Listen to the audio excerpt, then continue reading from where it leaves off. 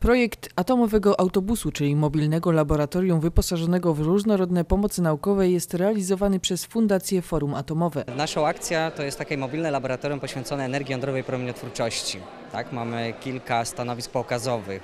Staramy się, aby ta wystawa była w miarę interaktywna, tak aby uczniowie poczuli, dotknęli. Ma być trochę fizyka, przede wszystkim fizyka, trochę podana w inny sposób.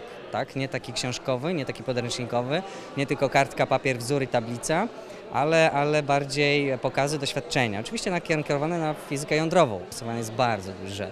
No różne szkoły odwiedzaliśmy, lepsze, gorsze, ale tutaj widać, że naprawdę zainteresowanie przekroczyło nasze oczekiwania.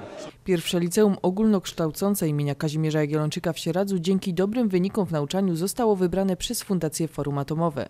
Uczniom placówki dało to możliwość uczestniczenia w nietypowych lekcjach fizyki i chemii. Jest niesamowite, że możemy zacząć to w praktyce. E, Coś, co na co nie uczymy się tylko z podręczników, tutaj znajduje zastosowanie w praktyce. Trudno da się mi dobrze ująć, jestem naprawdę zafascynowany tym. Mam nadzieję, że, e, że młodzież się zarazi tym, co tutaj zobaczy.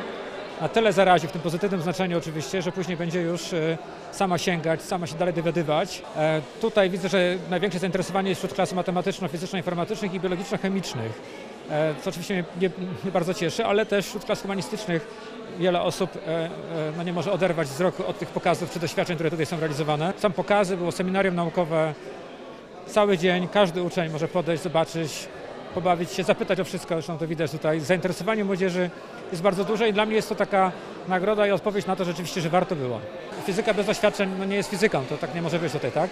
Matematyka jest taka nie- niedoświadczalna, ona jest taka rzeczywiście opisowa, bardziej sucha, ale, ale, ale fizyka musi być pokazana, tak? Musi być, on, uczeń musi rozumieć, co robi. To jest bardzo istotne. A tu ma okazję zobaczyć, poczuć, dowiedzieć się od fachowca, jak to wszystko wygląda. Zajęcia przeprowadzili pracownicy naukowi różnych uniwersytetów i politechnik z całej Polski.